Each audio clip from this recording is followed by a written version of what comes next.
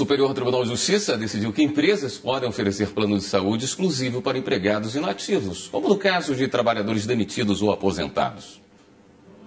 Tanto a legislação que regulamenta os planos de saúde, quanto a Agência Nacional de Saúde Suplementar prevêem que aposentado ou ex-empregado demitido sem justa causa, que contribuiu com o plano de saúde privado, tem direito de manter as mesmas condições de cobertura que tinha quando ainda estava trabalhando.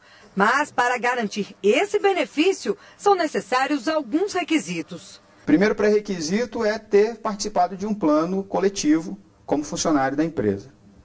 Segundo pré-requisito, em 30 dias após a saída da empresa ou a inatividade, acionar a seguradora ou a operadora do plano de saúde para pleitear esse direito.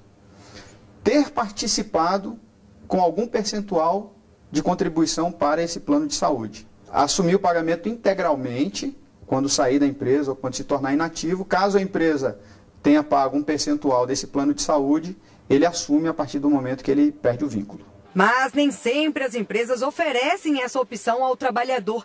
E a maneira que o aposentado ou ex-empregado tem para resolver é procurando a justiça.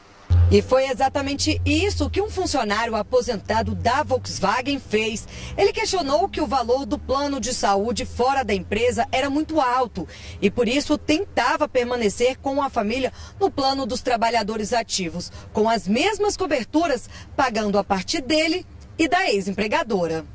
O Tribunal de Justiça Paulista determinou que a pólice fosse oferecida com as mesmas condições da cobertura da época vigente do contrato de trabalho.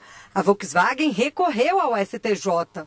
O relator, ministro Vilas Boscueva, destacou que a legislação determina que trabalhadores demitidos sem justa causa e aposentados devem ser beneficiados com plano que possua as mesmas condições de quando tinham vínculo empregatício desde que assumam os pagamentos integrais. Mas isso não significa que precisa ser a mesma operadora de plano de saúde, desde que não haja onerosidade excessiva ao usuário ou discriminação ao idoso. Mesmo assumindo a parte da empresa, a tabela que ele vai contratar esse plano é uma tabela diferenciada da pessoa física que contrata por livre escolha ou um coletivo por adesão, que as operadoras de saúde chamam.